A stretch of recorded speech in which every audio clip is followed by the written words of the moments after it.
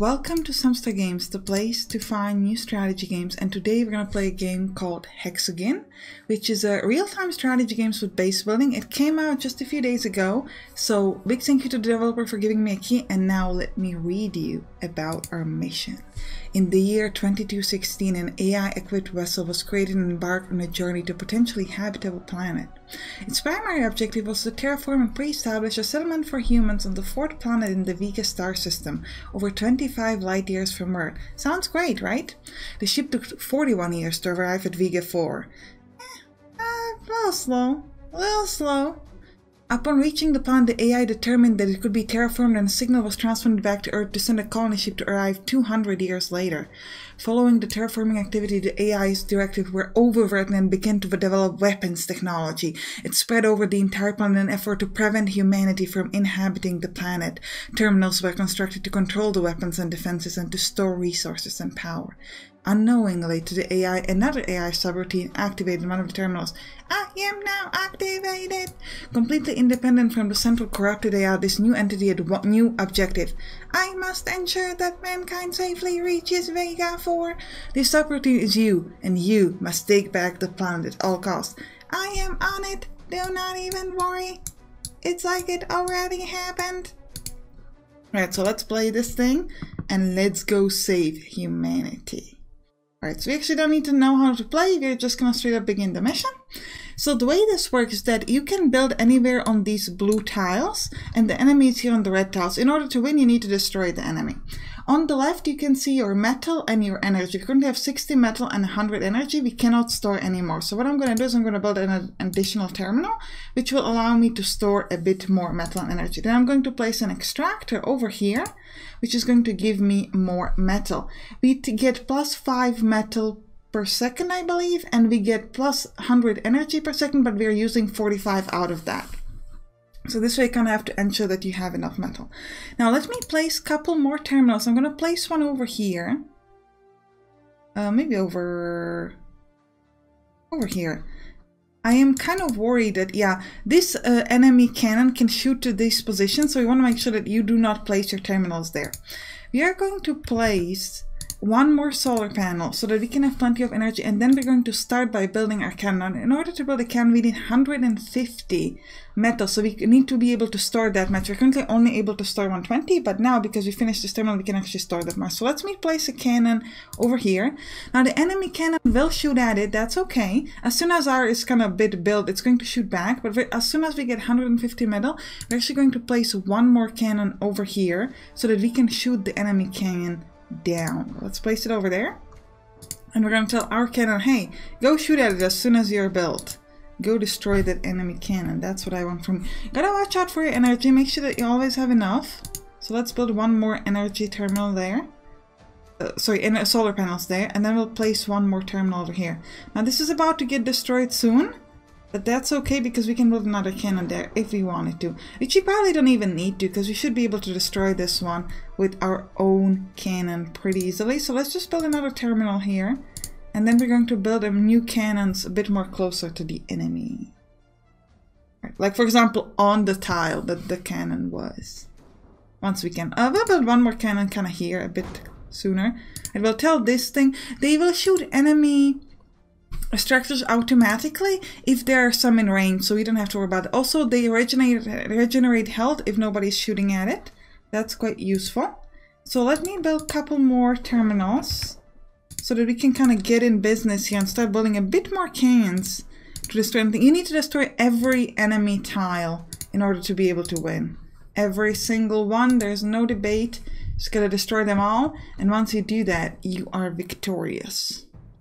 It will happen very soon. I plan to destroy them all. But if you're wondering what is the name of my AI, I have named it Timo after one of my newest patrons. Thank you so much for becoming a patron, and uh, I hope you stay a long time.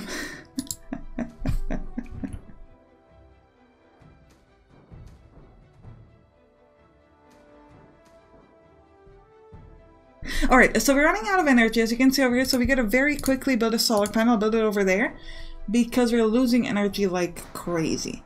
We're gonna tell our cannons to destroy his cannon, because, yep. So we ran out of energy, but we're still kind of working. The solar panel is going to be done very soon. So once that's finished, we could actually destroy them pretty easily. Yeah, but I want to say that I appreciate all my patrons. Thank you so much, everyone. And uh, yeah. Alright, let's go kill them all. Let's do it. Uh, do we want to build another canyon? I think we might. I mean, we don't really need to because this can should be able to destroy them. But in order to speed it up, let's do it. Let's build one more over here. We'll tell this one to destroy that cannon over there. And you, we should, we should actually be destroying the cannon. Like that should be a priority, not this little extractor there. But it doesn't really matter. We can also speed it up up here because at this point we're just gonna win very quickly. So we can just speed it up and be like, hey, go destroy everything. How dare they build another extractor? It's not gonna last very long, like, come on. You know that you're gonna lose. Just stop, stop trying to build that extractor. It's gonna be destroyed. I must attempt to win. Loss is not in my programming. And apparently they don't even have like uh, botched up speech in their programming because they're the super cool crafted AI. My AI has bad speech, but at least it won. We're gonna do mission number two. To continue expanding and putting up a fight, you must improve your technology. See, like, we gotta work on our speech, you know? We gotta learn to talk better.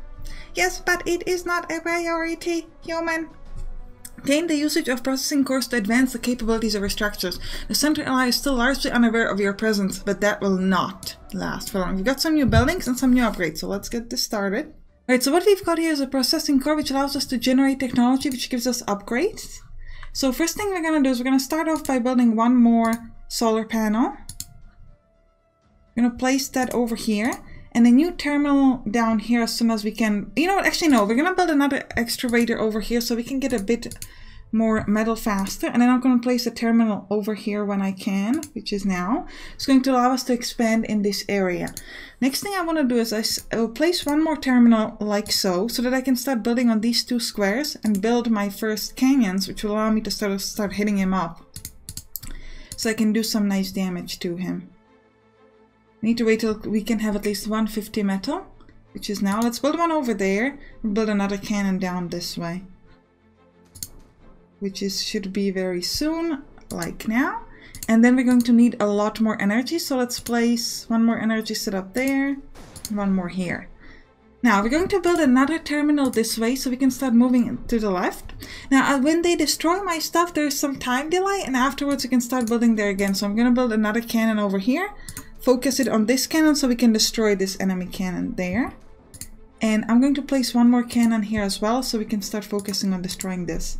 We have enough energy so that's good. So let me place another extractor this way and another terminal like so. Another energy thing is going to be built there.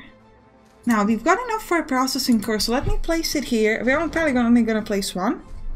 Good, we destroyed their cannon. That's nice. So let's build a new cannon down here as soon as we can, which is now. I'm gonna start destroying their stuff slowly. And maybe another one over here. Again, focus on their cannons where we can. Possibly one more cannon like there. There. Good, good, good, good, good. Now, next we're gonna need a terminal somewhere... Where? Here? Maybe even here. Place is kind of up here from. The benefit of that is once we destroy enough of their tiles, we could actually grab some of their tiles and start to be able to build in sort of their direction, which I think would be quite useful. We also got to get a bit more solar panels. Now we've got upgrades, so what I'm going to do is I'm going to put one upgrade on everything, which is going to allow us to increase the range of a terminal, increase max health of extractor, decrease construction time for my solar panels, and decrease metal cost of my cannons. So you can see that because I have the terminal here, I can now start building on his part, so to speak. So we're going to place some cannons here to destroy more of his stuff. And I would also like another terminal here, so let's place one there. And I'm just going to place one more solar energy just to kind of be ready. Have some sort of backup if needed. Let's start destroying his terminals and kind of everything he has. Just because we can. Another canyon here would be nice. As soon as that gets destroyed, I'm going to build one more cannon here, and then it's essentially over for him. Because this one should have everything... It's going to have everything in range? Yeah, seems like it. So we can just start destroying his stuff. You destroyed that. You destroyed that.